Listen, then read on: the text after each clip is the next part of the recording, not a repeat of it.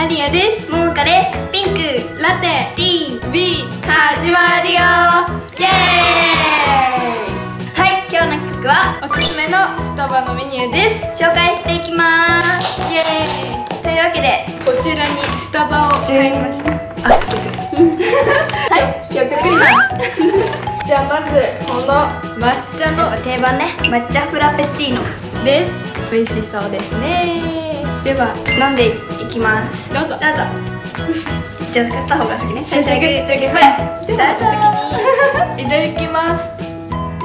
めっちゃ美味しい。やばい。どうぞ。もうまだ口の中に抹茶の。美味しさが残ってる。うん。抹茶パウダー多めだから抹茶抹茶感がすごい。これの本当の名前は抹茶クリームフラペチーノです。470円です。エクストラパウダーです。とても美味しいです。じゃあ抹茶も強くて美味しい。はい。というわけで次に行きたいと思います。お次は？こちら。キャラメルフラペチーノです。やっぱ定番だよね。これはもう定番の定番。じゃあどうぞ。あありがとうございます。美味しい。キャラメル。あめっちゃキャラメル。美味しい。美味しい。やっぱこれだよね。次。次はこれ。ダークモカチップフラペチーノ。にチョコレートソースをかけました。おおチョコたっぷり。えなんかめっちゃ美味しそう。どうぞ。どうぞ。順番順番。オッケーオッケー。めっちゃチョコ。ザ・チョコって感じ。めっちゃ美味しいチョコじゃない？うんこれはねなんとチョコのつぶつぶが入っています。チョコ感が半端なんか甘すぎなくて。苦すぎず甘すぎず。そうそうそうそうそう。だからなんかもったりしてないから濃厚っていうわけでもなくてさっぱり。チョコレートだけどさっぱり飲めるよ。ね。はい次いたします。とこちらです。マンゴーパッションティーフラペチーノです。マンゴー大好き。どうぞ。ありがとう。下に溜まってる。ちょっと混ぜるか。うんフルーティー。南国の味がする。ちゃ美味しい。い 鮮やか。ろんな味がミックスされたみたいなマンゴー。なんかフルーツミックスみたいなマンゴー。さっぱりしてるからちょっとカロリーとかも抑えられてるかも、ねめっちこっちの方が。ゃ美味しい。マンゴーパッションティーフラペいろいろな名前が混ざってね。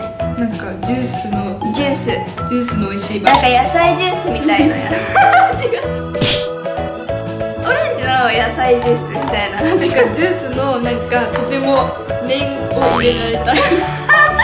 お なんかそうじゃない。そうだよ。おそういう感じ。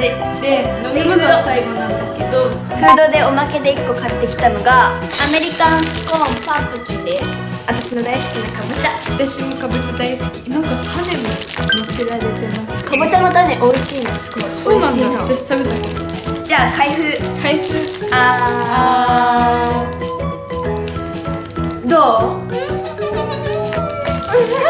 クサクっていうかしっとりしてる。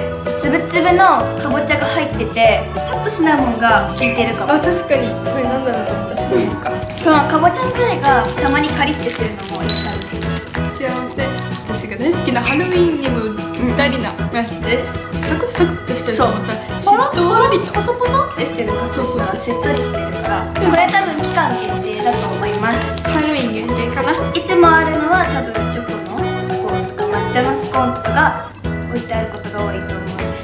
私今度買ってみる。あ近くの。スタバへ行こう GO!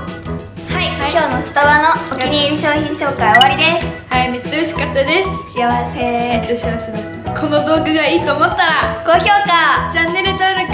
よろしくお願いします